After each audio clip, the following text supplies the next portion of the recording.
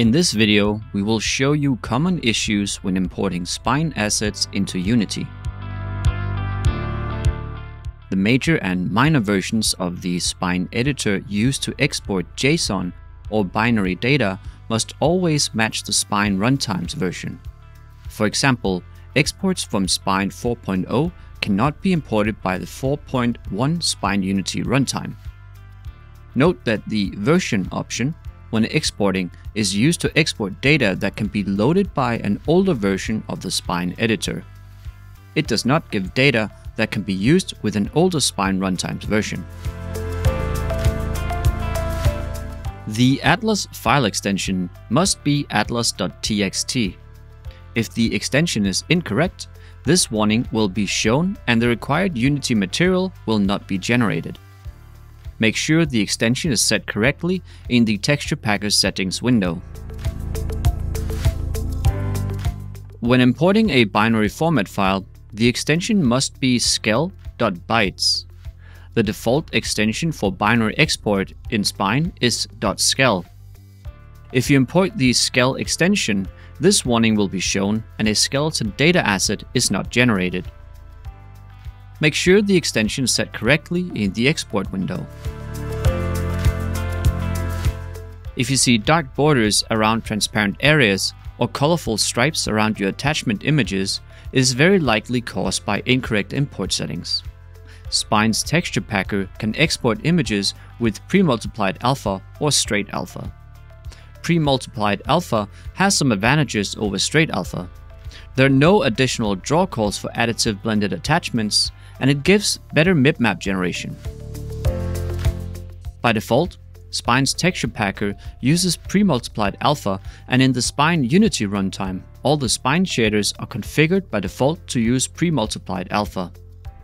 However, pre-multiplied alpha textures cannot be used in linear color space.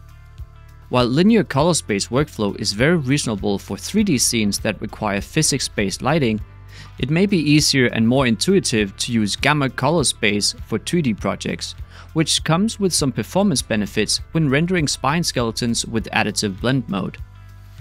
If pre-multiplied alpha is unchecked, the texture atlas images will use straight alpha.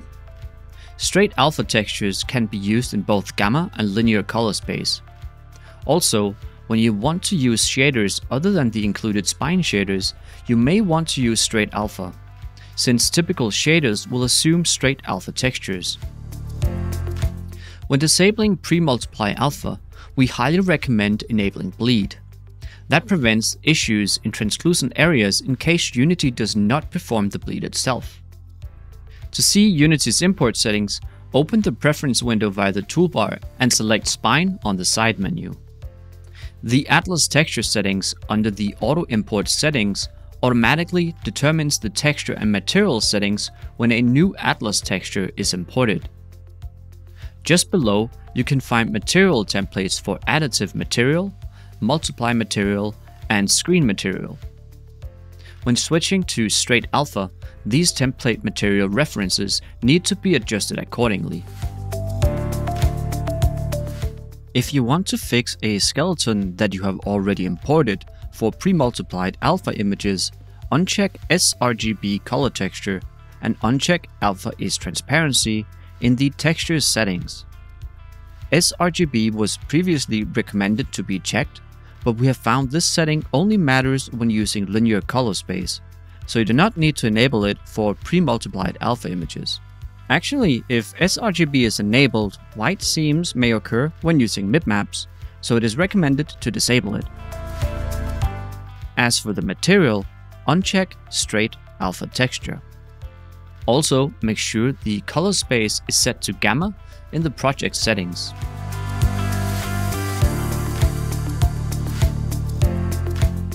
For straight alpha textures, check sRGB color texture and alpha is transparency in the texture settings. Also check straight alpha texture in the material settings. You may want to edit the skeleton's texture after exporting from Spine. However, most image editors lose the color values from transparent pixels when you save the texture, and it may cause artifacts around attachments in Unity. For example, if you edit and save your texture in Photoshop, the texture's color in transparent pixels could be white. To avoid this, you should use an image editor which can keep the color values from transparent pixels. With confirmed GIMP, a free and open source image editor can do this by checking the Save Color Values from Transparent Pixels option when you export the texture as PNG. Also, you can see the color in transparent pixels by hiding the alpha channel on the channels panel. This would be helpful if you want to check if your texture is correct without Unity. If attachments are using the wrong portions of the atlas images, there are a few possible causes. It may be that regions in the atlas have changed, but only the atlas images have been updated and the atlas text file has not, or vice versa. This is easily solved by updating all of the files. If you're using the skeleton graphic component to create the skeleton game object, your skeleton cannot use more than one atlas texture. Skeleton Graphic can only load a single texture by default, so if there is more than one page, only attachments on the first page are rendered correctly. If the mesh uses multiple atlas pages or blend modes, the runtime issues a console message and shows a warning text in the inspector window. You can enable advanced multiple canvas renderers at the skeleton graphic component inspector to generate a child canvas renderer game object for every submesh to raise the texture limit but for performance reasons, this is best avoided where possible. You can increase the maximum width or height of the texture packer settings, pack using polygons, so the mesh images can be packed more tightly, or change the scale to fit more images on a single page. If your skeleton has lots of skins, it may be impossible to fit them all on a single page. In that case, you can repack textures at runtime so your atlas only has the images that are needed. See the runtime repacking section of the documentation for more information.